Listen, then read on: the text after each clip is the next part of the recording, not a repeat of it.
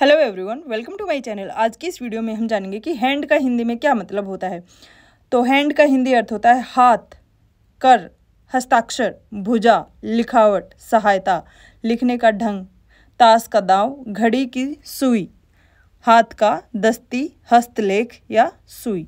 Example she extended her hand for a handshake उसने हाथ मिलाने के लिए अपना हाथ बढ़ाया। तो इसके साथ इस वीडियो में बस इतना ही।